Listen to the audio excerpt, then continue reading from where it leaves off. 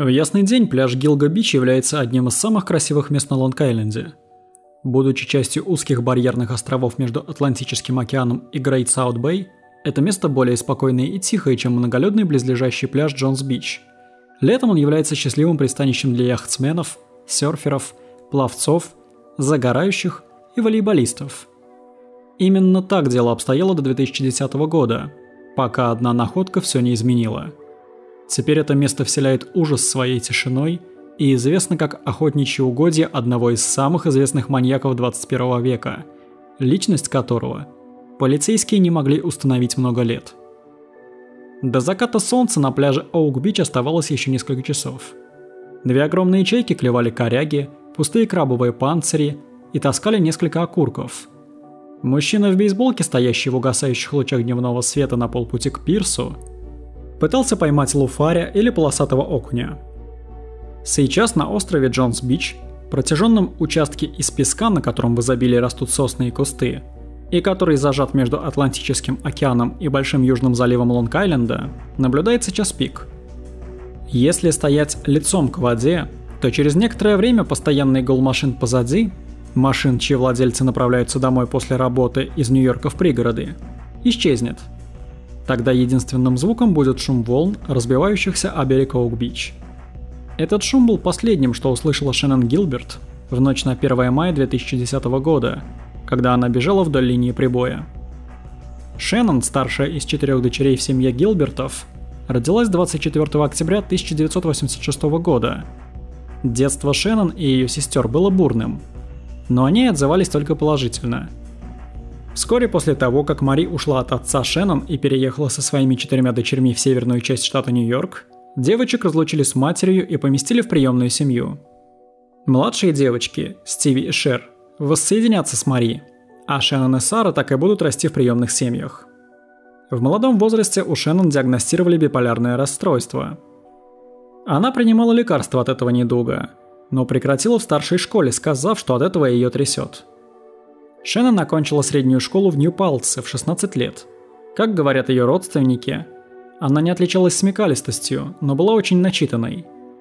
После окончания средней школы Шеннон перебивалась случайными заработками. Она работала администратором в отеле Appleby и готовила закуски в центре для пожилых людей. В 2007 году она переехала со своим тогдашним парнем в Нью-Джерси и пошла в эскорт-агентство. Ее детской мечтой была карьера певицы и актрисы. В ее послужном списке был как минимум один арест. Тогда ее арестовали вместе с другими эскортницами – а один раз ее избили до такой степени, что сломали челюсть и ей пришлось вставлять в кость титановую пластину. С 2008 года она начала размещать свои объявления на популярном сайте Craigslist, где предлагала свои услуги по 200 долларов за час. Она оставляла себе две трети гонорара, а оставшуюся часть забирал водитель, который сопровождал ее на свидание и выступал в качестве охранника. За одну ночь девушка могла заработать до 600 долларов – Будучи любительницей дорогих вещей, Шеннон вскоре переехала в собственное жилье и одарила мать, сестер и племянников подарками. Она также посещала онлайн-курсы в колледже в надежде однажды бросить эскорт-услуги. Ее мать знала о занятиях дочери и пыталась заставить ее бросить работу и вернуться к приличной жизни. Но где бы еще Шеннон смогла заработать такие большие деньги? 1 мая 2010 года Гилберт отправилась в резиденцию 45-летнего Джозефа Брюера в Оуг-Бич – Закрытый жилой комплекс на Лонг-Айленде. Мужчина нашел объявление на Craigslist, и поскольку он разошелся со своей женой, то у него не было никаких помех для удовлетворения своих плотских потребностей. Гилберт поехала по адресу вместе с водителем по имени Майкл Пак. С ним она работала и раньше. Прибыв в пункт назначения, Пак, как и всегда, остался ждать в машине, играя в покер на своем мобильном телефоне. А Шеннон в светлом парике, кожаной куртке и джинсах вошла в дом клиента – Около пяти часов утра Брюер вышел из дома и попросил Пака о помощи. Пак обнаружил, что Гилберт чем-то расстроена и разговаривает с полицией по телефону. Она говорила, что опасается за свою жизнь. И в эти сумерки продержала диспетчера 911 на линии целых 23 минуты. Она постоянно твердила «Меня пытаются убить». На записи 911 она кажется безумной. На заднем плане слышны голоса людей, пытающихся ее успокоить. Шеннон так и не сказала диспетчеру службы экстренной помощи, где она находится. Возможно, она не знала этого, потому что ее привезли туда. В связи с этим у полиции не было возможности послать помощь. Пак говорит, что пытался уговорить Шеннон уйти с ним, но та отказалась. Она будто пребывала в бреду. Он тогда подумал, что Шеннон находится под действием наркотиков. Расстроенный, Пак вышел из дома. Он вернулся во внедорожник и стал ждать. Через минуту или две Шеннон выскочила из дома, спотыкаясь, сбежала по крыльцу и помчалась прочь по дороге. Пак говорит, что преследовал ее на внедорожнике, но она продолжала бежать, крича о помощи и стуча в двери соседних домов. Одну из дверей открыл страдавший бессонницей 75-летний Густав Калетти. Он рано встал и в этот момент брился. Гилберт вбежала внутрь его дома, крича, что ее жизнь в опасности. Рыдая, она умоляла не вызывать полицию, после чего выбежала из дома и убежала в направлении густой темноты. К тому времени, как Пак подъехал к дому Калетти, Шеннон уже нигде не было видно. Пак говорит, что провел около часа, разъезжая по Оук-Бич в поисках Шеннон – Затем он понял, что это бесполезно и вернулся в город. Когда взошло солнце и наконец прибыла полиция, через 45 минут после того, как Калетти позвонил им, единственным следом Шеннон Гилберт была пара следов на песке в направлении к пустому необлагороженному участку берега под названием Гилго-Бич. Полиция округа Саффолк обыскала дом Джозефа Брюера, конфисковала его машину, допросила его и Пака и пришла к выводу, что ни один из них не причастен к исчезновению девушки – Брюер и Пак рассказали, что их проверяли на полиграфе. Позднее Брюер настаивал на том, что он даже не спал с Шеннон и что ему просто нужна была компания. Он сказал, что не видел у нее наркотиков. Полиция обыскала прилегающий район, но так ничего и не нашла. С 75-летнего Калетти также были сняты подозрения. А к осени оказалось, что у полиции не было никаких зацепок по этому делу.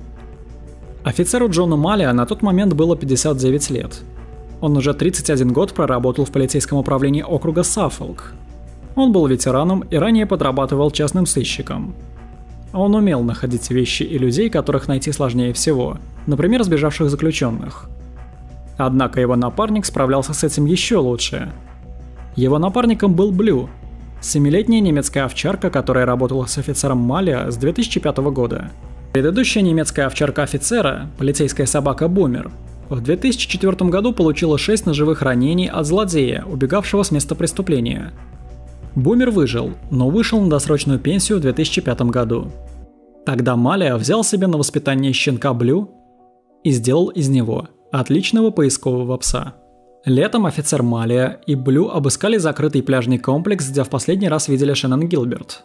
Но тогда они так ничего и не нашли – Затем, 11 декабря 2010 года, незадолго до выпадения первого снега в этом сезоне, детектив Малия сместил зону поиска в западнее.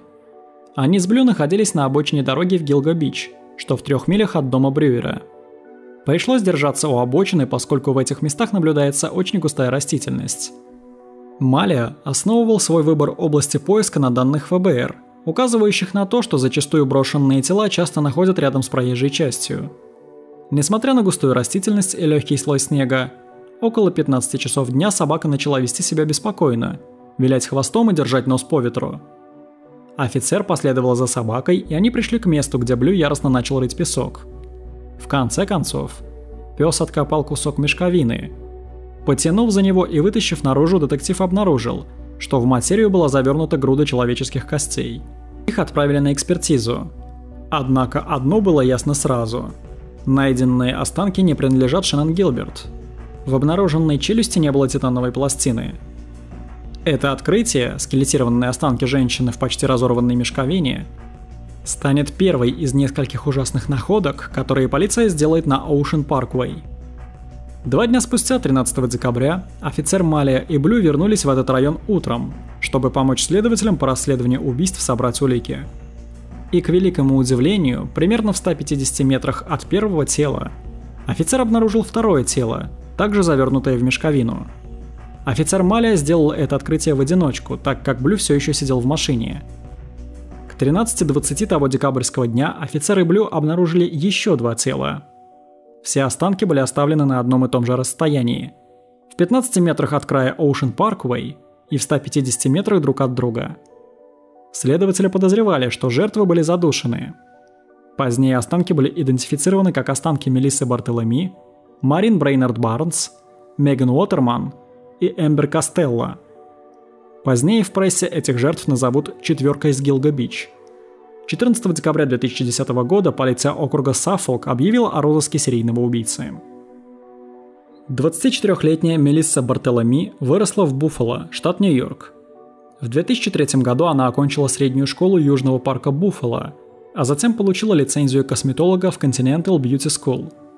Она работала в магазине Supercuts в своем родном городе, а затем переехала в город Нью-Йорк, где надеялась найти более гламурную работу стилиста и мечтала однажды открыть собственный салон красоты. Ее родители, Лин Бартоломи и Марк Шпила, волновались, когда дочь покидала родительский дом. Но они знали, что их миниатюрная девочка, ростом всего 150 сантиметров и весом 43 килограмма, была довольно дерзкой, поэтому они были уверены, что в случае чего она сможет постоять за себя. Они напутствовали ей быть осторожной и надеялись на лучшее. Мелисса сняла квартиру на цокольном этаже за 700 долларов на Андерхилл-авеню в Тременте, районе Бронкса. Она сказала своим родителям, что работает косметологом, но ее квартирная хозяйка знала, что девушка, чтобы заработать, была вынуждена стать стриптизершей. Временно, как она сама уверяла. Затем Бартоломи открыла для себя возможности сайта Craigslist и разместила объявление с предложением эскорт-услуг. Хозяйка квартиры и ее муж вспоминают Бартоломи как милую девушку и хорошего арендатора. Они уверяли, что Мелисса никогда не приводила в их квартиру парней или своих клиентов. По крайней мере, соседи им об этом не сообщали. На сайте Craigslist Мелисса работала под псевдонимами Хлои и Very Sexy Хлои. У нее были татуировки со словами Blaze и фокус на спине, а также буквы на груди. В июле 2009 года хозяйка встревожилась, услышав, как 8 кошек Мелиссы мяукают в квартире и пытаются расцарапать дверь. Стало ясно, что Мелисса Бартоломи пропала. Ночью 9 июля 2009 года Бартоломи отправила текстовое сообщение своей сестре Аманде Фундербург. 15-летняя Фундербург была единственным членом семьи, который знал, что Бартоломи работала эскортницей. Хотя к тому времени семья уже догадывалась, что их старшая дочь занимается экзотическими танцами, а не стрижками. Это было последнее известное сообщение от Мелисы. Рано утром следующего дня она внесла депозит в размере 900 долларов на свой банковский счет и пыталась позвонить бывшему парню, но тот не ответил. Она также проверила свою голосовую почту из двух мотелей в Масапекуа – Budget Inn и Best Western. 12 июля 2009 года, в ночь, когда ее видели в последний раз, Бартоломи сказала подруге, что собирается увидеться с мужчиной и вернется утром. Эта подруга знала, что Мелисса работает эскортницей, но Бартоломи не сообщила никаких подробностей предстоящей встречи. Записи ее мобильного телефона показывают, что она поехала из Бронкса на Манхэттен, скорее всего на такси. Менее чем через сутки, не получив известий от дочери, семья уже пыталась сообщить о ее исчезновении. Однако сотрудники полицейского участка Нью-Йорка, которым позвонили родители девушки, отмахнулись от их первых заявлений. Несколько дней спустя друг семьи убедил офис шерифа округа Эри оказать давление на полицию Нью-Йорка, чтобы она серьезно отнеслась к делу. 18 июля полиция Нью-Йорка открыла дело о пропаже человека. Работа началась. Вскоре они связались со своими коллегами с Лонг-Айленда. Расследование показало активность мобильного телефона девушки на Манхэттене, во Фрипорте, Масапекуа и Линденхерсте. Были исследованы мотели в этих районах и рядом с ними. Вскоре после исчезновения сестры Аманда Фундербург начала получать тревожные телефонные звонки. 16, 19 и 23 июля – Неизвестный мужчина звонил ей по телефону пропавшей сестры и насмехался над ней, говоря, что ее сестра проститутка и ужасный человек. Полиция Нью-Йорка отследила звонки. Они были совершены из района Мэдисон Сквер Гарден, а затем с Таймс-сквер.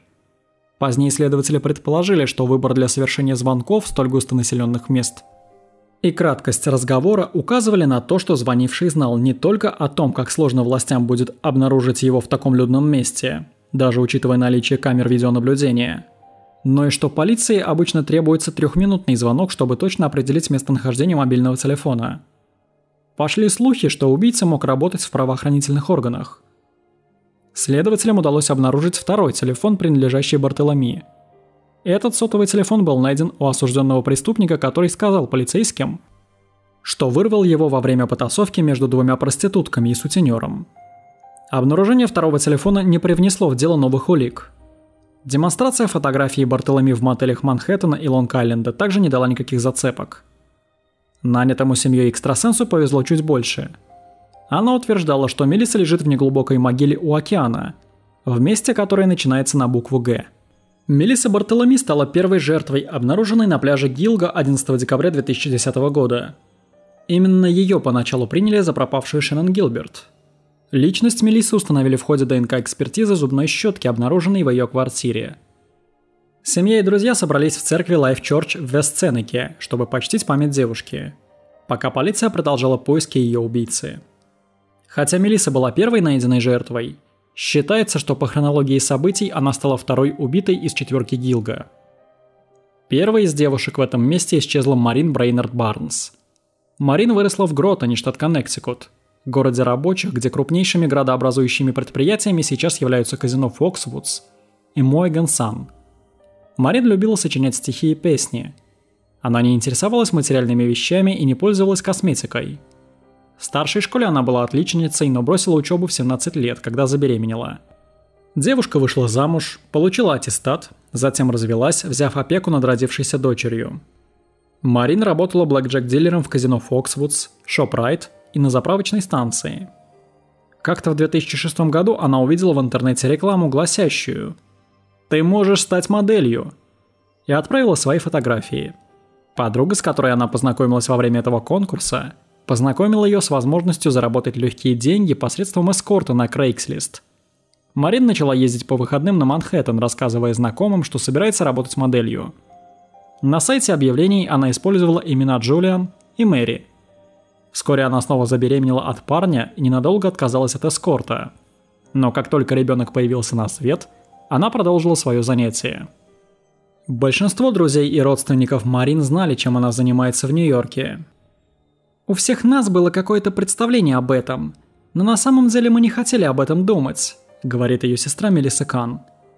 Никто не мог удержать Марин от того, что она хотела – Находясь в Нью-Йорке, Марин звонила друзьям по мобильному телефону, иногда просто для того, чтобы поболтать, а иногда просила их обновить ее объявление на Craigslist, чтобы оно снова было вверху страницы. Подруга рассказывала, что многое из того, что она зарабатывала, уходило на травку и кокаин. Брейнард Барн сломала нос, а позже и пальцы правой руки. У нее был шрам на лице и еще один на лбу. Шрам на ее животе был пережитком кесарево сечения при родах – у нее имелась татуировка Николет, имя ее дочери. Также ее тело украшали другие татуировки – серые и черные лилии и красная роза. Веснушчатая Марин Брейнард Барнс носила очки, была ростом всего 150 сантиметров и весила 48 килограмм. Друзья отзывались о ней как о хорошей матери и доверчивом человеке.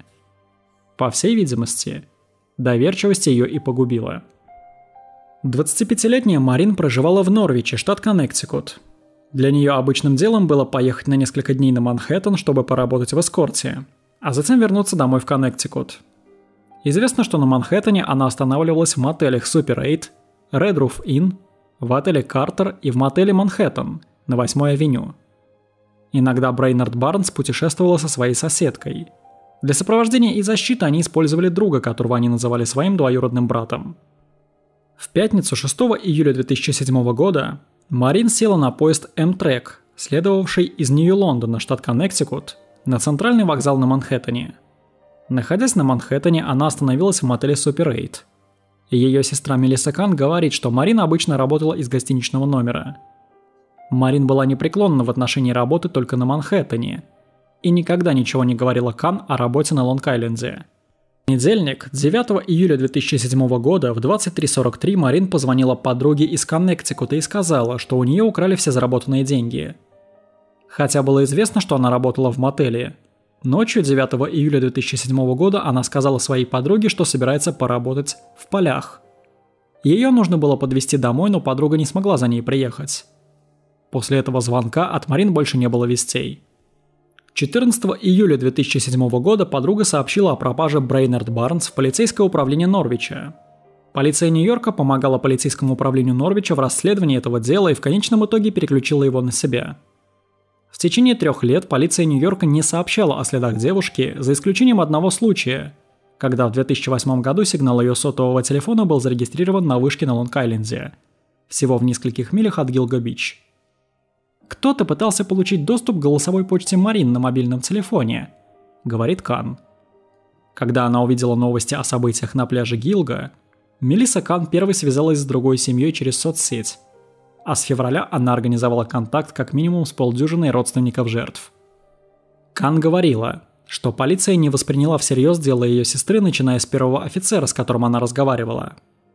Как только я рассказала ему, чем она занимается на Манхэттене, ему стало все равно.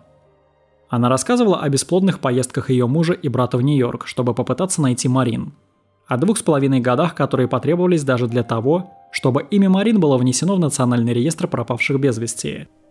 Мелисса сама получила электронные письма, текстовые сообщения и телефонные записи своей сестры, пытаясь проследить шаги Марин. Я сводила себя с ума 4 года, пытаясь понять, что случилось с моей сестрой. Я довела себя до того, что не хотела вставать утром, чтобы почистить зубы. Я не хотела идти спать. Я просто хотела выяснить, где моя сестра. Меня уволили с работы, я понимала, что мне нужно искать другую работу, но вместо этого я продолжала искать сестру.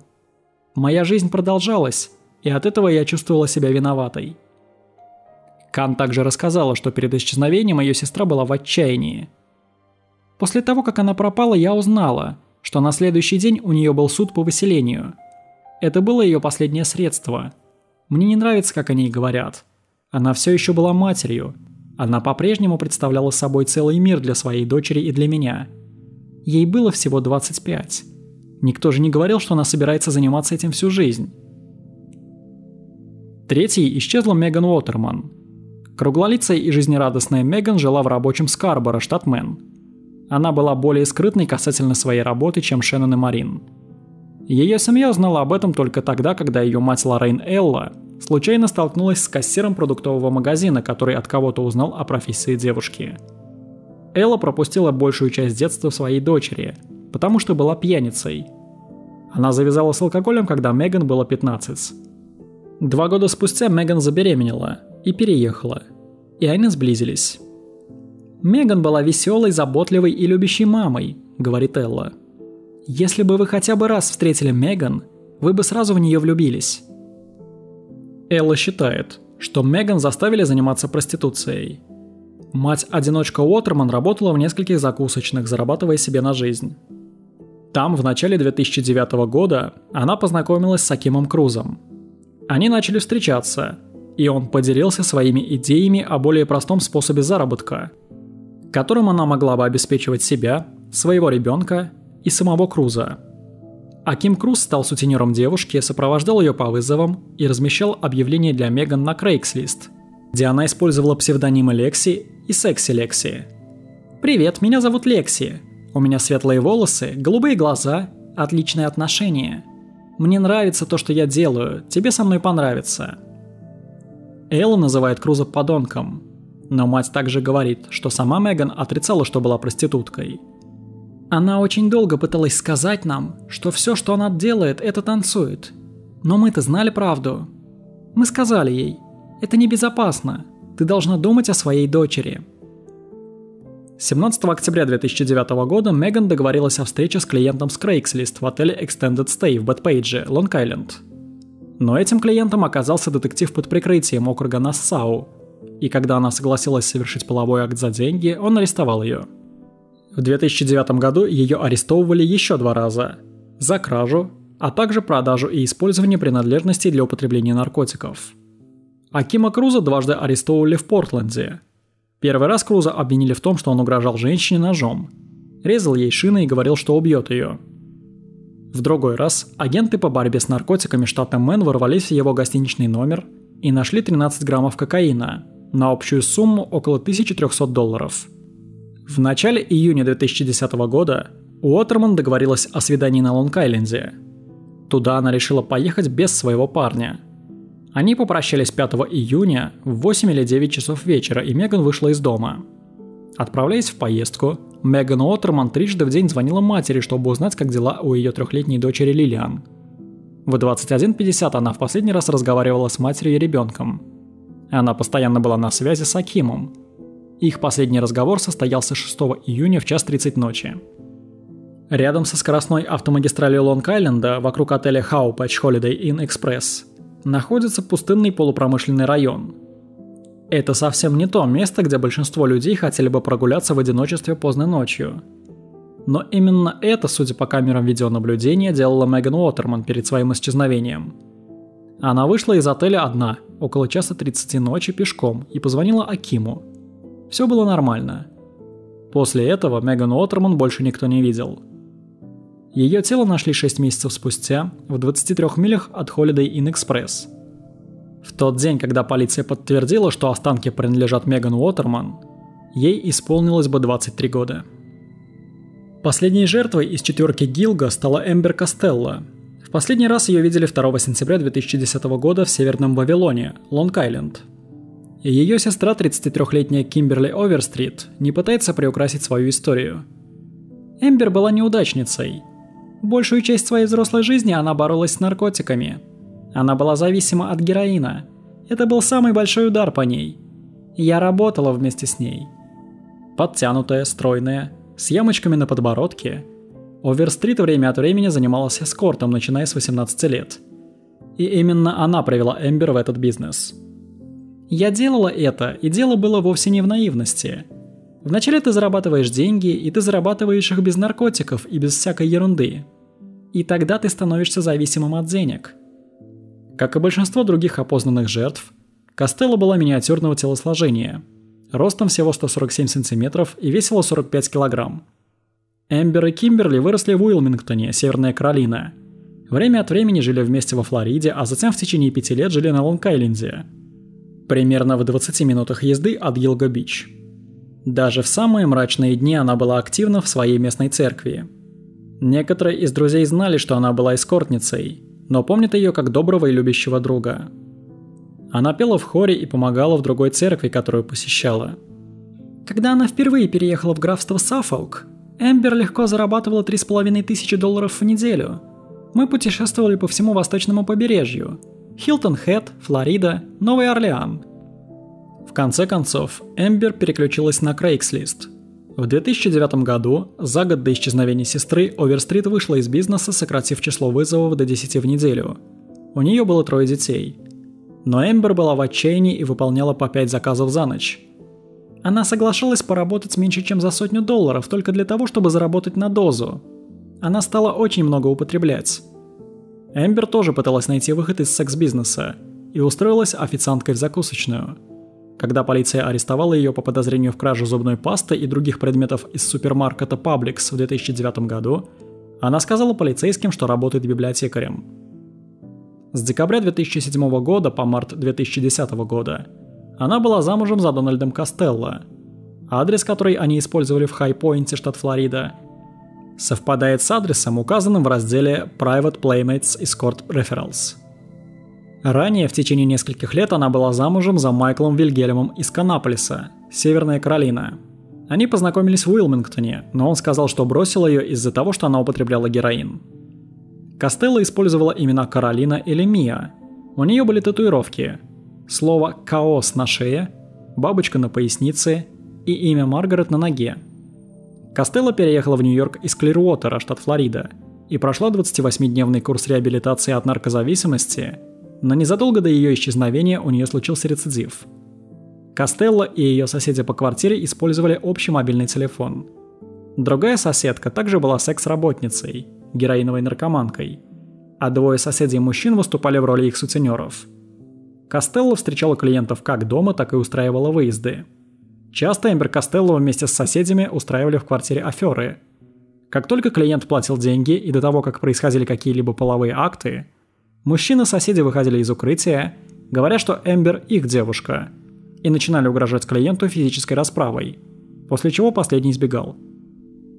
27-летнюю Эмбер Лин Костелло в последний раз видели выходящей из дома в Северном Вавилоне, штат Нью-Йорк, 2 сентября 2010 года. Она собиралась к клиенту, который должен был встретить ее около дома. В то время у девушки не было мобильного телефона. Никто даже не сообщил об исчезновении девушки до того, как ее нашли на пляже Гилга. Через несколько дней после обнаружения четырех тел полицейское управление округа Саффолк назначило Уильяма Нойбауэра представителем по делу, но поначалу ему было совершенно нечего сообщить о ходе расследования. Полиция не хотела объявлять даже о том, что казалось очевидным, что за вереницей мертвых проституток на пляже стоит серийный убийца. Полиция заявила, что четыре женщины, которых они нашли в декабре, были убиты одинаковым образом, но они не предоставили конкретной информации о способах убийства – все четыре тела были обнаружены примерно в 15 метрах от Ocean Parkway и примерно в 150 метрах друг от друга. одна вещь, которую показывают криминальные телешоу, заключается в том, что первые 48 часов полицейского расследования имеют решающее значение. Детективы выясняют отношения погибших, их деловых знакомых и соседей. Они хотят поймать преступника по горячим следам. Они не хотят давать ему время для создания алиби или, что еще хуже, залегания на дно – Однако через 48 часов после обнаружения четвертого тела на пляже Гилга у копов не было зацепок. Более того, ни у одной из жертв не было титановой пластины в челюсти. Ни одно из четырех найденных тел не принадлежало Шеннон Гилберт. За исключением Меган Уоттерман, ростом 165 см и весом 68 кг, остальные погибшие были очень миниатюрными женщинами. Окружной прокурор округа Саффолк Томас Спота сказал, что все четверо были убиты в другом месте и брошены на пляже, и что все четверо были проститутками, которые использовали сеть интернет для поиска клиентов. Его офис предположил, что убийца мог быть жителем округа Саффолк или округа Нассау, либо проживать неподалеку от Гилга, либо ездить на работу через этот район, либо он мог вырасти в этом районе, а затем переехать в город. Зимние штормы обрушились с равнин в конце декабря 2010 года, похоронив остров Джонс-Бич под 70-сантиметровым слоем снега – и сделав невозможной и без того трудную задачу поиска новых тел среди густых зарослей колючих кустов ежевики. В декабре 2010 года полиция заявила, что не ожидала найти новых жертв на пляже, но пообещала начать поиски снова, когда потеплеет. На протяжении нескольких месяцев по делу не было никаких новостей. Расследованию помешали не только погода, но и ограничение бюджета полиции в разрезе оплаты внеурочных часов сотрудников – Пока от полиции не было новых известий, по городу поползли слухи. Поскольку каждое из четырех тел было завернуто в материал из мешковины, некоторые комментаторы на форумах предположили, что эта улика может быть ключом к разгадке профессии убийцы. Он мог заниматься ландшафтным дизайном или строительством. Мог иметь доступ к постоянному запасу этих мешков. Другие пользователи предполагали, что это могла быть работа уже известного серийного убийцы. В 2003 году Три тела, в том числе тело проститутки из Вашингтона Джессики Тейлор, были найдены рядом с Хелси Мэннер Роуд, недалеко от Манорвилля, в сосновых цепях Лонг-Айленда. В 2006 году четыре проститутки были найдены в дренажной канаве за пределами Атлантик-Сити, штат Нью-Джерси. Возможно, все это было делом рук одного серийного убийцы, которому нравился пляжный отдых в районе Нью-Йорка. Возможно, не было совпадением и то, что Ким Раффа, одна из жертв из Нью-Джерси, провела месяц со своим мужем Хью Осландером в мотеле в Иерихоне, штат Нью-Йорк в 2006 году. Как бы там ни было, власти проигнорировали эти сообщения. Весна наконец принесла новые улики. 29 марта 2011 года полицейский из подразделения морской пехоты, проезжая по пляжу, заметил нечто необычное среди травы и кустов. Оказалось, что это пятое тело – Два дня спустя следователи обнаружили еще три тела в миле к востоку от первых четырех. Эти тела уже не были завернуты в материал из мешковины, и они располагались дальше от Ocean Drive, чем тела из четверки из Гилга. Однако полиция и СМИ предположили, что может иметь место подражание серийному убийце. Источники, знакомые с ходом судебно-медицинского расследования, сообщили, что эти последние четыре тела находились на пляже дольше, чем первоначальная группа – еще до того, как полицейские установили личности новых жертв, они были уверены, что ни одно из найденных тел не принадлежало пропавшей без вести Шеннон Гилберт, исчезновение которой как раз и положило начало этому масштабному расследованию. Судмедэксперты могли бы с легкостью опознать ее по металлической пластине в челюсти, которая осталась после перенесенной ею операции. Обнаружение новой партии тел побудило следователей повторно посетить район пляжа Оук-Айленд – где в последний раз видели Шеннон Гилберт. Власти также расширили район поисков на восток, в округ Нассау, чтобы успеть до того, как весеннее тепло пробудет растения после зимней спячки, и они заплетут своими корнями и побегами дюны и тем самым скроют возможные улики. 12 апреля 2011 года полиция нашла череп в мемориальном заповеднике дикой природы Джона Кеннеди, туловище в миле от него и сумку с различными конечностями. В зависимости от того, скольким жертвам принадлежали эти разбросанные конечности, это могли быть девятая, десятая или одиннадцатая жертва, или даже больше. Тем временем газета «Нью-Йорк Пост» сообщила, что во второй партии обнаруженных трупов Саффолка был и маленький ребенок. Полицейским удалось установить, что обнаруженный череп, руки и правая нога принадлежат одному человеку – женщине. Ей дали псевдоним Джейн Доу номер 6. Впоследствии удалось определить, что останки Джейн Доу номер 6 и туловища, обнаруженные неподалеку больше 10 лет назад – 19 ноября 2000 года, завернутые в черные мусорные мешки и названные впоследствии Джей Доу из Манурвилля, это останки одного и того же человека. Но тайна личности этой женщины долгое время оставалась загадкой. Лишь 28 мая 2020 года, спустя 20 лет после обнаружения туловища и почти 10 лет после обнаружения головы, рук и ноги, с помощью генеалогической экспертизы несчастную женщину наконец удалось идентифицировать – Ею оказалась Мелисса Тейлор, также известная как Валери Мэг. Она, как и девушки из четверки Гилга, работала в эскорте. Была миниатюрного телосложения, всего полтора метра ростом и весом 45 килограмм. Валери Мэг было 24 года, когда члены ее семьи последний раз контактировали с ней. Это было летом 2000 года в Порт-Репаблик, Нью-Джерси. Ее последним местом работы в качестве эскортницы числилась Филадельфия. После исчезновения Валерии Никто так и не сообщил об этом в полицию. Также среди обнаруженных останков удалось опознать еще одну жертву. Ее тоже пришлось собирать по частям, как Валери Мэг. 26 июля 2003 года выгульщик собаки обнаружил голый женский торс в конце подъездной дороги с твердым покрытием. Разлагающееся тело было найдено лежащим на куче ветвей деревьев и кусков древесины. Примечательно, что ее убийца совсем не пытался скрыть тело. Вместо этого он оставил его на открытом месте, всего в нескольких метрах от линии деревьев. Это место находилось в Маннервилле, в 72 километрах от Гилго-Бич и всего в километре от места обнаружения туловища Валери Мэг. На этот раз убийца отрубил жертве голову и руки, пытаясь помешать ее опознанию. Он также изуродовал татуировку, которая была у нее на пояснице. Хотя убийца и изрезал татуировку острым предметом, он сделал это недостаточно тщательно – Поэтому судмедэксперты смогли восстановить татуировку и опубликовали ее изображение. Татуировка состояла из красного сердца с крыльями ангела, на которых были написаны слова «Ремис Энджел» – «Ангел Реми».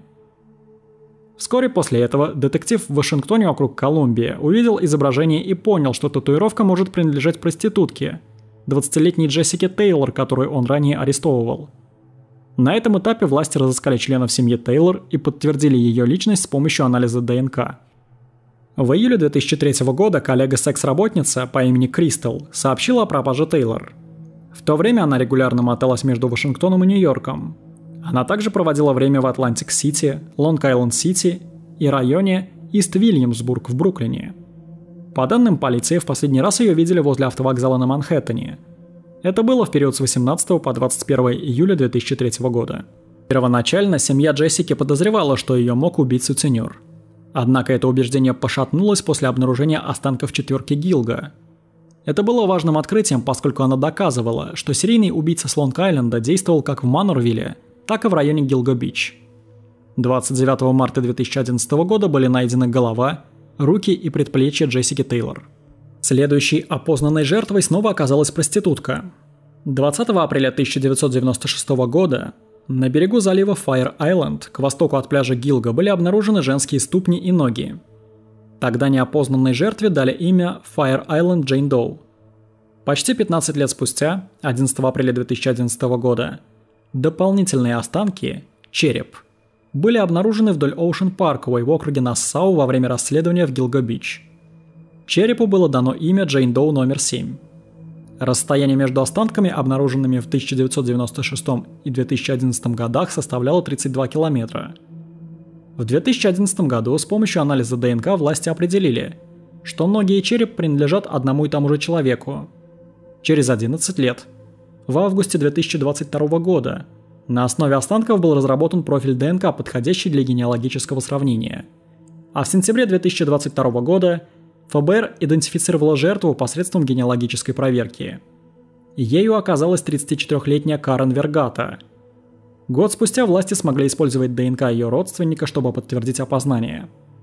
В августе 2023 года прокурор округа Саффолк публично подтвердил, что Fire Island Джейн Доу и Джейн Доу номер 7 – это один человек – Карен Вергата.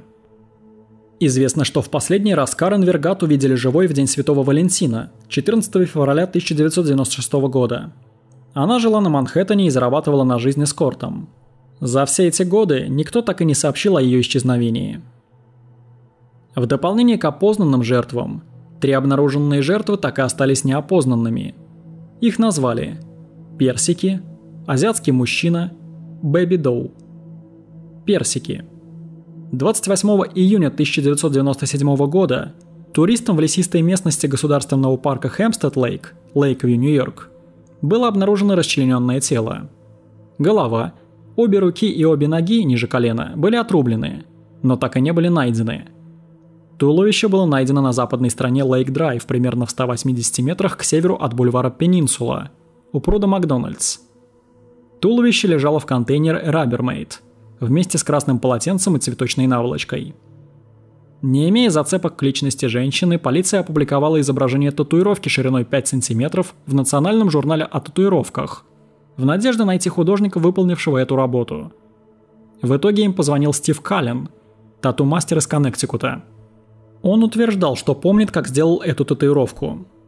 Каллен рассказал, что помнит клиентку как молодую чернокожую женщину примерно 18 или 19 лет – которую сопровождали две женщины – тетя и двоюродная сестра. Во время сеанса он также утверждал, что она рассказала ему, что она из Бронкса или Лонг-Айленда, и что она была в Коннектикуте, потому что в то время у нее были проблемы со своим парнем. Возможно, руки и ноги были отрублены, поскольку у женщины были другие татуировки на этих местах, и убийца хотел их скрыть и тем самым помешать опознанию. В то время жертве дали имя девушка с татуировкой персиков – не имея ее черепа, полиция не смогла бы сделать составной эскиз лица девушки. Без зубов не было бы стоматологических записей для сравнения. Без рук не было бы отпечатков пальцев. На женщине было два золотых браслета, один из которых украшен буквами X и O и камнями, напоминающими бриллианты. 13 декабря 2016 года Long Island Press сообщила, что местные власти точно идентифицировали скелетированные останки – найденные в государственном парке Джонс-Бич в 2011 году и названные тогда Джейн Доу номер 3. Оказалось, что они принадлежат персикам. 3 марта 2007 года в парке Харбор-Айленд в Мамаронеке, округ Вестчестер, штат Нью-Йорк, в чемодане также был обнаружен расчлененный торс. Следователи полагают, что жертвой была крупная латиноамериканка или светлокожая афроамериканка, ростом около 170 сантиметров и весом от 80 до 90 килограмм. На ее правой груди была татуировка в виде двух красных вишенок на зеленом стебле. Вишня, как ее назвали правоохранительные органы, также была обезглавлена и расчленена, хотя ее первоначальной причиной смерти было ножевое ранение. В отличие от персиков, следователи нашли обе ноги вишни, которые были выброшены на берег прибрежного поместья владельца Cablevision, провайдера кабельного телевидения Джеймса Долана в Ойстер-Бэй, Нью-Йорк, в чемодане следователи обнаружили пару серых спортивных штанов Champion, коричневую или кремовую рубашку с длинными рукавами от Voice и красный лифчик с бирками на испанском языке. Такой темно-синий или черный чемодан продается исключительно в магазинах Walmart. Полиция также обнаружила небольшие клочки бумаги, спрятанные в щелях чемодана. Собранные вместе они выглядят как календарь с испанским словом «чинко» и фразой «начать жить». Полиция утверждает, что поскольку туловище всплыло на берег во время штормовых наводнений, обрушившихся на регион, оно могло появиться практически где угодно. Еще один набор обнаруженных останков принадлежал младенцу в возрасте от 16 до 24 месяцев, по другим данным ребенку от 1 до 4 лет. Эти останки были обнаружены 4 апреля 2011 года в 80 метрах от останков Валери Мэг – Останки были завернуты в одеяло, и на них не было видимых признаков травм. Останки были названы Бэби Доу. На останках также было обнаружено золотое ожерелье и золотые сережки. Последующее ДНК-исследование подтвердило, что матерью ребенка была Джейн Доу номер 3, она же Персики, чье туловище было обнаружено в 16 километрах к востоку. 8 октября 2022 года Управление полиции Мобила, Алабама, объявило на своей официальной странице в соцсети, что ФБР разыскивает родственников и друзей Элайджа Хауэлла Ховарда, годы жизни 1927-1963. Ховард проживал в Причарде, штат Алабама, со своей женой Кэрри и скончался в Мобиле, штат Алабама, в 1963 году, когда жил с мисс Лили Мэй Уиггинс Пакер. Хотя не ясно были ли у него дети, записи показывают, что у него было трое братьев и сестер, которые с тех пор умерли – но у которых были свои дети. Это означает, что могут быть выжившие племянницы и племянники, которые могли бы помочь следователям установить имя Персиков и ее ребенка, продвинуть дело и помочь найти ее убийцу. Наконец, последняя группа обнаруженных 4 апреля 2011 года останков принадлежала мужчине-азиату. Было установлено, что он был убит ударом тупым предметом по голове. Его возраст на момент смерти составлял от 17 до 23 лет – Предполагалось, что он был убит от 5 до 10 лет назад. Его рост составлял 168 сантиметров. У жертвы отсутствовали верхние и нижние коренные зубы, а также отсутствовал передний зуб. У него могло быть заболевание опорно-двигательного аппарата, которое повлияло на ходьбу мужчины. Но самое интересное то, что этот мужчина носил женскую одежду. Возможно, был транс-женщиной и мог подрабатывать в эскорте. Таким образом, он и стал жертвой серийного убийцы.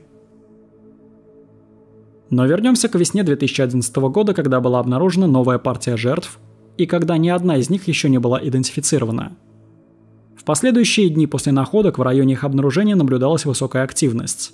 Дороги были перекрыты, выставлены кордоны, над головой пролетали вертолеты в поисках потенциальных мест захоронения.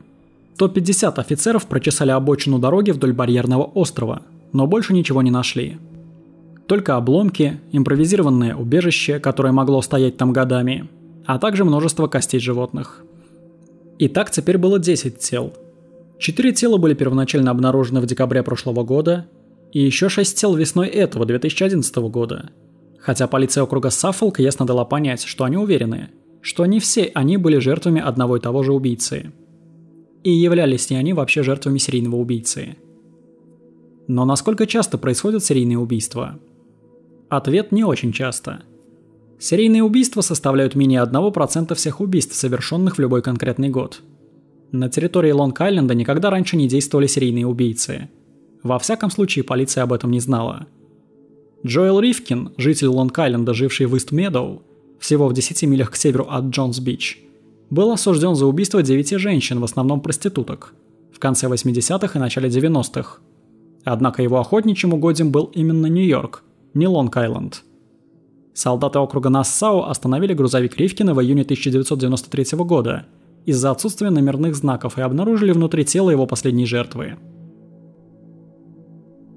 Летом население этого сонного пляжного поселка рядом с Гилго-Бич множится в одночасье. И в 2011 году настроения властей были ясны.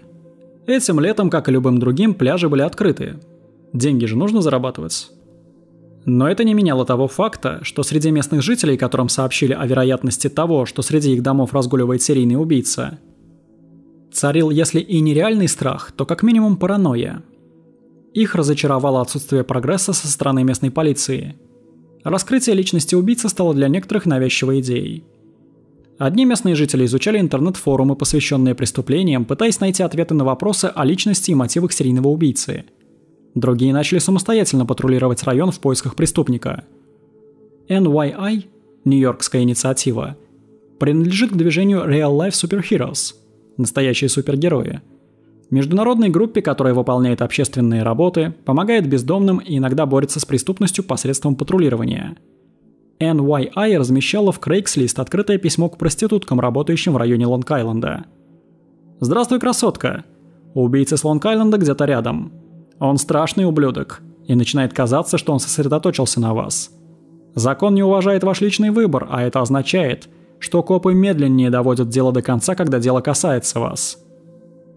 Ниже в письме были указаны контакты организации. 2011 год подходил к концу, но прогресса в деле не было. В декабре, через полтора года после исчезновения Шеннон Гилберт, с которой и началось все это дело, полиция наконец нашла первые следы пропавшей 23-летней девушки. В болоте возле Оугу-Бич, недалеко от того места, где Шеннон видели в последний раз, полицейские нашли пару туфель, джинсы и сумочку, внутри которой лежал кошелек с удостоверением личности на имя Шеннон Гилберт. А 13 декабря, в четверти мили от того места, где были обнаружены вещи, были обнаружены и останки девушки. Они лежали лицом вниз и практически не были повреждены. Судебно-медицинский эксперт не смог определить причину смерти, но следователи не сочли Шеннон одиннадцатой жертвой серийного убийцы с Лонг-Айленда. Среди полицейских распространялись предположения – что Шеннон на самом деле погибла случайно, после того, как заблудилась и зашла в топь. Но почему же она была обнаружена так далеко от своих вещей? Эксперты объясняли это влиянием шока. Якобы девушка зашла в болото, ее вещи намокли и начали тяготить ее. Она поддалась панике, разделась и попыталась найти выход на твердую поверхность, но так и не справилась с этой задачей. Объяснения полиции не убедили близких Шеннон – они не поверили в эту теорию и продолжали считать, что Шеннон является одиннадцатой жертвой лонг-айлендского серийного убийцы. Мари Гилберт, мать Шеннон, наняла специалистов и провела независимое вскрытие тела дочери, в ходе которого выяснилось, что причиной смерти Шеннон могло быть удушение. Мэри Гилберт и три ее дочери, Стиви Смит, Сара и Шер Гилберт часто появлялись в телевизионных шоу, посвященных данному делу. У одной из трех выживших дочерей Марии, тогдашней 27-летней Сары, Ранее была диагностирована шизофрения, и периодически она проводила время в психиатрических больницах. Адвокат семьи Гилбертов рассказал, что в начале 2016 года Сара утопила своего щенка и угрожала убить своего восьмилетнего сына, а также что она якобы слышала голоса в своей голове, которые приказывали ей совершить преступление. 23 июля 2016 года Сара Гилберт, находясь в своей квартире в Нью-Йорке, 227 раз ударила 52-летнюю Мари кухонным ножом. Сара также сорвала с матери одежду и сильно ударила ее огнетушителем по голове. Впоследствии на суде она скажет присяжным, что Мари была злой и заслуживала смерти. Саре были предъявлены обвинения в убийстве второй степени, но она не признала себя виновной. На невиновности вследствие шизофрении настаивал и ее адвокат. Однако присяжные признали Сару Гилберт виновной – и в августе 2017 года она была приговорена к максимальному наказанию – от 25 лет до пожизненного заключения. В данный момент она отбывает наказание в исправительном учреждении для женщин Бетфорд-Хиллз. Полицейские изыскивали методы для отслеживания убийцы, но все их усилия не приносили результатов. Помимо Шеннон Гилберт, они также составили список возможных жертв Лонг-Айлендского серийного убийцы, тела которых также были обнаружены на пляжах Лонг-Айленда, но в обстоятельствах обнаружения которых были некоторые нестыковки с жертвами, обнаруженными в 2010 и 2011 годах. Тина Элизабет Фолья. В последний раз 19-летнюю Тину Фолью видели живой ранним утром 1 февраля 1982 года в клубе рок-музыки Hammerheads в районе Нью-Йорка Вейст Айслип. Она добиралась автостопом из своего дома до концертного зала, чтобы увидеть выступление друга – ее останки были обнаружены работниками Департамента транспорта через два дня, 3 февраля, на обочине государственного бульвара Сактикос в Грасте Саффолк. Ее расчлененное тело, которое было помещено в три отдельных пластиковых мешка для мусора, было найдено в нескольких милях к северу от дороги Роберта Мозеса, которая ведет к пляжам Гилго-Бич и Оук-Бич. Ее кольцо с бриллиантом пропало, а на мешках для мусора была обнаружена ДНК неизвестного мужчины – Полиция не исключила возможность того, что Тина Фолья была одной из первых жертв серийного убийцы с Лонг-Айленда, но заявила, что данная связь не является активным направлением расследования.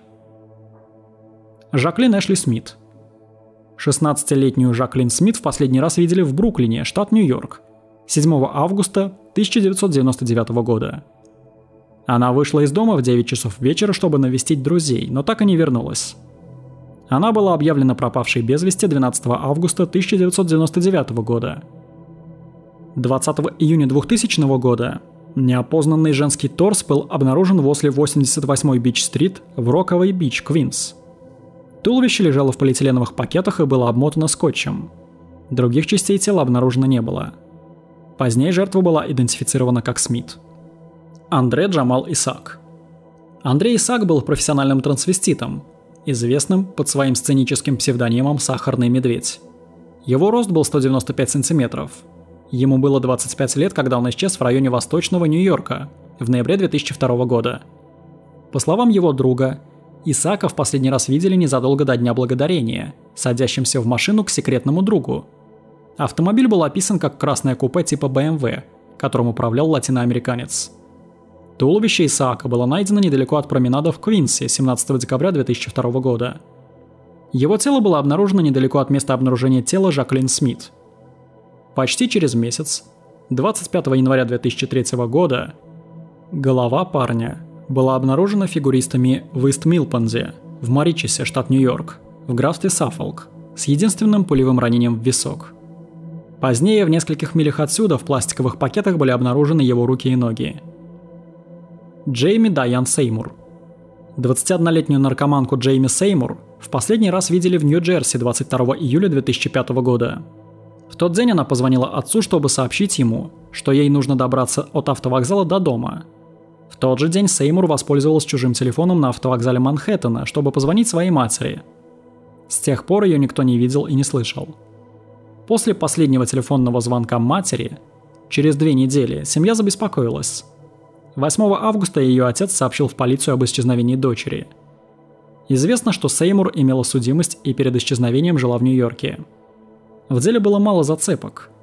Полиция никогда не указывала на какую-либо связь между исчезновением Сеймур и серийным убийцей с Лонг-Айленда. Сеймур была молодой женщиной небольшого роста, как и другие жертвы серийного убийцы с Лонг-Айленда. Она исчезла в июле, точно так же, как и жертва Мелисса Бартелеми, Марин Брейнард Барнс и Джессика Тейлор. Последний раз Сеймур также видели в том же месте, что и Джессику Тейлор, на автовокзале Порт Аторити в центре города. Таня Раш. 23 июня 2008 года 39-летнюю Таню Раш в последний раз видели около трех часов ночи, идущей к станции метро в Бруклине. Ее расчлененное тело было найдено бригадой по уборке дорог штата в черном холщовом чемодане 27 июня 2008 года на съезде Нью-Бридж-Роуд. Раш была матерью троих детей, волонтером армии спасения и работала в сфере телемаркетинга. Она занялась эскортом, чтобы заработать денег на наркотики. Раш была афроамериканкой и проживала в Ван Дайк Хаузес – государственном жилищном комплексе Браунсвилля в Бруклине, Нью-Йорк. Наташа Юга. 31-летнюю Наташу Юга в последний раз видели выходящей из своего дома в Квинс-Виллидж, штат Нью-Йорк, 16 марта 2013 года в 4.30 утра. На следующий день ее сумочка, удостоверение личности и часть одежды были обнаружены брошенными на Ocean Parkway, недалеко от пляжа Гилга. Ее Toyota Prius 2009 года выпуска также была найдена брошенной возле пляжа со следами на песке, ведущими к воде. В конце концов, через три месяца, 24 июня 2013 года, 9.30 вечера, тело Юга было обнаружено плавающим в воде посетителями пляжа. На ее теле не было явных признаков травм. Помимо опознанных жертв, которые были найдены на пляжах Лонг-Айленда, но не считались каноническими, также имелись две неопознанные жертвы. Одна из них – вышеупомянутая девушка с татуировкой вишен на левой груди – Вторая жертва была обнаружена 23 января 2013 года. Женщина, выгуливавшая свою собаку, нашла человеческие останки на небольшом участке кустарника на песчаном участке вдоль берега, недалеко от Ойстер-Бэй. Останки имели следы травм и были завернуты в особый материал, который полиция отказалась называть. Предполагается, что останки принадлежали женщине в возрасте от 20 до 30 лет, которая, возможно, была азиаткой. На ней был кулон из 22-каратного золота в виде свиньи, этот кулон может быть связан с китайским календарем и обозначать год свиньи. Соответствующий этому знаку года рождения 1971, 1983 и 1995. Это позволяет предположить, что женщина умерла в возрасте 29 лет. Следователи полагают, что ее тело было выброшено перед ураганом Сэнди в конце 2012 года. Ее случай может быть связан с другими десятью телами, найденными в 51 километре от пляжа Гилга и вокруг него, хотя в отличие от других жертв, ее тело было скорее захоронено, а не оставлено на поверхности. 10 декабря 2015 года комиссар полиции округа Саффолк Тим Сини объявил, что к расследованию дела официально присоединилась ФБР. Объявление было сделано на следующий день после того, как бывшему начальнику полиции Джеймсу Берку были предъявлены обвинения в нарушении гражданских прав и заговоре. Сообщается, что Берг, уволившийся из отдела в октябре 2015 года, годами блокировал участие ФБР в деле о серийных убийствах на Гилго-Бич. ФБР ранее оказывала помощь в поиске жертв, но никогда официально не участвовала в расследовании. В ноябре 2016 года Берг был приговорен к 46 месяцам лишения свободы в федеральной тюрьме за нападение и заговор. Полицейские составили возможный профиль убийцы. Белый мужчина в возрасте от 20 до 40 лет. Он женат или у него есть подруга. Хорошо образован. Говорит грамотно. Финансово обеспечен. Имеет работу и владеет дорогой машиной или микроавтобусом. Мог обращаться в больницу для лечения инфекции, вызванной ядовитым плющом. Благодаря своей работе имеет доступ к мешкам из джута. Проживает или проживал на Оушен Парквей или рядом с ним на южном берегу Лонг-Айленда. Внешне абсолютно непримечательный человек. При этом подозреваемый должен быть достаточно убедителен и рационален, чтобы убедить женщин встретиться с ним на его условиях. Коммуникабельный, даже очаровательный. Влечение убийцы к единственному отдаленному району предполагает, что он хорошо знаком с Джонс-Бич-Айлендом в целом и Оушен Парквей в частности. Летние исчезновения предполагают несколько характеристик. Его связь с местностью или его фантазии и ритуалы могут иметь сезонный характер. Это может быть время, когда его жена, дети или родители уезжают на лето. Мешки из джута дают еще одну подсказку. Он мог использовать их либо потому, что они являются частью его ритуала убийства – либо потому что это самый простой материал для сокрытия тел, который он может найти. Джут, однако, в последнее время не является распространенным материалом, и его порой легче отследить, чем обычный полиэтиленовый пакет. Некоторые исследователи заявили, что убийца мог быть действующим или бывшим сотрудником правоохранительных органов, потому что его телефонные звонки сестре погибшей Мелиссы Бартелеми длились недостаточно долго, чтобы определить его местонахождение, и были сделаны с Таймс-сквер – и других многолюдных мест, что затруднило бы его поиск по камерам видеонаблюдения. Эксперты по серийным убийцам говорят, что, по их мнению, убийца подпитывается страхами жертв и их родственников, о чем свидетельствует его желание позвонить сестре-подростку одной из своих жертв, используя мобильный телефон жертвы, и насмехаться над ней. Это наводит на мысль, что он садист, что может отражаться на его отношениях и работе. Это тот человек, который смеется, когда сбивают кошку или когда ребенок падает с велосипеда. Ему нравятся страдания других, и ему очень нравится, когда он может причинить их сам или стать их свидетелем. Полицейские также задали вопросы о личности разыскиваемого серийного убийцы другому маньяку по имени Джоэл Ривкин, который также убивал женщин в районе Лонг-Айленда.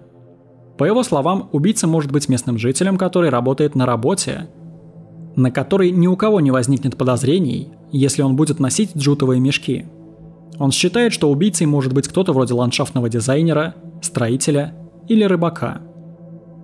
12 сентября 2017 года прокурор округа Саффолк Роберт Бьянквилла заявил, что Джон Битролф, житель округа Саффолк, осужденный за убийство двух проституток и подозреваемый в убийстве третьей, мог совершить некоторые убийства в Гилго-Бич.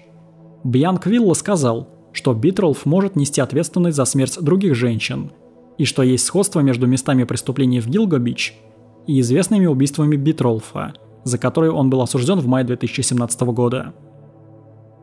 48-летний Битролф был арестован в 2014 году, после того, как его ДНК была обнаружена на телах двух жертв убийства – Риты Тангреди и Калин Макнеми, чьи тела были найдены в 1993 и 1994 годах соответственно – Совпадение было установлено с помощью ДНК, предоставленной его братом, который был осужден в 2013 году по другому делу. Битролф был осужден в мае 2017 года, а в сентябре приговорен к 25 годам заключения подряд за каждое убийство. Полиция округа Саффолк не прокомментировала заявление прокурора в связи с активным расследованием убийств в Гилго-Бич. Адвокат Битролфа отверг утверждение прокурора – Битролф проживал в Манорвилле, в 48 километрах от того места, где были обнаружены тела жертв Гилго-Бич, Джессики Тейлор и Валери Мак. Битролф был охотником, который, как говорили, любил убивать животных. Также сообщается, что однажды он вырезал сердце оленя, которого только что подстрелил, и съел его сырым в лесу. Он был плотником по профессии, имел доступ к ножовкам и электропилам. Поскольку многие тела были найдены расчлененными – Следует отметить его доступ к этим инструментам и умение обращаться с ними. Кроме того, взрослая дочь Риты Тангредди, убитой Битролфом, была лучшей подругой Мелиссы Бартоломи, одной из четверки Гилга. Мать Бартоломи рассказала, что ее дочь Мелисса много раз звонила в Маннервиль со своего телефона перед смертью. 16 января 2020 года комиссар полиции округа Саффолк Джеральдин Харт опубликовала изображение найденного на месте преступления ремня с тиснением на черной коже буквами HM или WH, в зависимости от ориентации ремня. Ремень был найден во время первоначального расследования возле Ocean Parkway в Гилго-Бич. Полиция считает, что ремень был в руках преступника и что он не принадлежал ни одной из жертв. Полиция раскрыла мало подробностей о доказательной ценности ремня и не стала комментировать, где именно он был найден. Также было объявлено, что в расследовании используются новые научные доказательства, и что они запустили gilganews.com, веб-сайт, позволяющий полицейским делиться новостями и получать показания относительно расследования. В феврале 2022 года была сформирована новая целевая группа по расследованию убийств в Гилго-Бич. По словам окружного прокурора округа Саффолк Рэя Тирни, в течение месяца в центре внимания следователей оказался архитектор Рекс Хойерман – работавший на Манхэттене с 1987 года. Следователи по делу выписали более 300 повесток и ордеров на обыск. С тех пор, как была сформирована целевая группа, Роман также использовал одноразовый телефон для проведения более 200 поисков по темам, связанным с серийными убийствами и расследованием на Лонг-Айленде. Среди поисковых запросов были следующие. Почему серийный убийца с Лонг-Айленда не пойман? И карта обнаружения тел жертв Лонг-Айлендского убийцы. Полиция заявила, что они следили за Хойерманом, пока он продолжал встречаться с проститутками. По данным властей, волосы, обнаруженные на куске мешковины, в которую была обернута одна из жертв, были связаны с Хойерманом через образец с недоеденной корочки пиццы в коробке, которую он выбросил в мусорное ведро на Манхэттене в январе 2023 года. Следователи взяли эту корку, отправили ее в лабораторию и в конечном итоге связали полученную ДНК с мужским волосом, найденным у жертвы Меган Уотерман – Потенциальное совпадение с женой Хойермана также было обнаружено при сравнении волос, найденных на трех жертвах или рядом с ними, с образцами, взятыми из бутылок, найденных в мусоре за пределами дома Хойермана. В четверг вечером 13 июля 2023 года 59-летний Рекс Хойерман, житель округа Нассау, был арестован в своем доме и впоследствии обвинен по трем пунктам в убийстве первой степени, а также по трем пунктам в убийстве второй степени, связанным со смертью Милисы Бартолеми, Меган Уотерман и Эмбер Костелло. Он также является главным подозреваемым в смерти Марин Брейнард Барнс. Судья по делу постановил оставить его под стражей, сославшись на крайнюю развратность совершенных преступлений. Подозреваемый, чей арест стал первым крупным прорывом в деле, которое годами оставалось нераскрытым, начиная с марта 2022 года осуществил более 200 поисковых запросов в интернете в поисках информации о расследовании по делу – Власти начали всерьез рассматривать Хойермана в качестве подозреваемого в марте 2022 года, после того, как выяснилось, что Chevrolet Avalanche, зарегистрированный на его имя в период убийств, был замечен возле дома одной из жертв. Получив имя Хойермана, целевая группа сосредоточилась на двух других сходствах, которые он имел с предполагаемым убийцей. Его внешность и его домашние и служебные адреса, которые попадали в сферу интересов, впервые выявленных ФБР в 2012 году – Тогда целевая группа сосредоточила внимание на четырех женщинах, а не на всех жертвах, из-за сходства доказательств по их делам. Оказалось, что Хойерман общался с жертвами по дешевым мобильным телефонам, которые впоследствии выбрасывал. По словам следователей, записи с его мобильного телефона указывают на то, что он контактировал с тремя из четырех жертв, а учетная запись электронной почты, связанная с Хойерманом, проводила онлайн-поиск хода расследования. Записи телефонных разговоров также позволили следователям установить, что убийства совершались, когда жена и дети Рекса Хойермана отсутствовали в городе. Следователи говорят, что он также попал в ловушку из-за насмешливых звонков, которые человек, называющий себя убийцей, сделал сестре Мелиссы Бартоломи, используя ее мобильный телефон. Прокурор Тирни добавил, что на компьютере Хойермана были обнаружены порно с пытками и изображение жестокого обращения и убийства женщин. Хойерман является владельцем RH Consultants and Associates – манхэттенской архитектурной фирме, которая описывает себя как ведущую архитектурную фирму Нью-Йорка. Associated Press сообщила, что у подозреваемого есть дочь и пасынок. Сосед рассказал, что подозреваемый ростом 193 сантиметра каждое утро ходил на работу, одетый в костюм и галстук, с портфелем. Прокурор Тирни сообщил, что у Хойермана были лицензии на 92 единицы оружия и очень большой сейф, в котором хранилось огнестрельное оружие. Люди, которые жили рядом с его домом в парке Масапеко на Лонг-Айленде, выразили удивление по поводу его ареста. «Этот парень был тихим, никогда никого не беспокоил. Мы в шоке, потому что это очень-очень тихий район. Все друг друга знают, все наши соседи, мы все дружелюбные». После ареста Рекса Хойермана его жена подала на развод. Она и двое ее взрослых детей вернулись в дом семьи после того, как полиция провела почти две недели, обыскивая его, вынося коробки с уликами, в том числе 279 единиц огнестрельного оружия. Официальные лица заявили, что нет никаких признаков того, что семья Хойермана знала о его предполагаемых убийствах. В августе 2023 года следователи начали проверять связь Хойермана с убийством 19-летней Джоди Мари Брюер в Лас-Вегасе. 14 августа 2003 года она попрощалась с матерью и вышла из дома. С того момента ее никто не видел. Две недели спустя ее туловище было обнаружено завернутым в ткань и пластик в пустыне Мохаве. На Хойермана пали подозрения, поскольку он владеет таймшером всего в нескольких милях от Лас-Вегас-Стрип.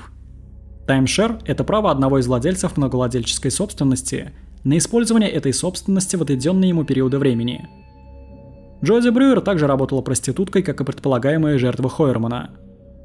Сейчас происходит выделение ДНК из улик 20-летней давности – Обработка ДНК доказательств может занять много месяцев, поскольку чем она старше, тем больше она со временем деградирует. В настоящий момент следствие над Рексом Хойерманом продолжается. При предъявлении обвинений в суде он расплакался и уверял, что ни в чем не виновен. Его адвокат сказал, что его клиент был обезумевшим и назвал доказательства чрезвычайно косвенными. Очередное заседание с участием Хойермана должно состояться 27 сентября 2023 года. Но вот действительно ли Рекс Хойерман тот самый лонг-айлендский серийный убийца? Или же он просто жертва обстоятельств? Большой вопрос.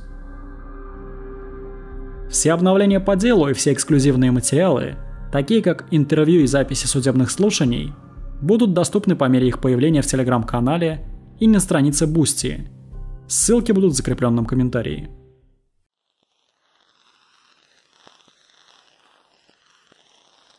Yeah.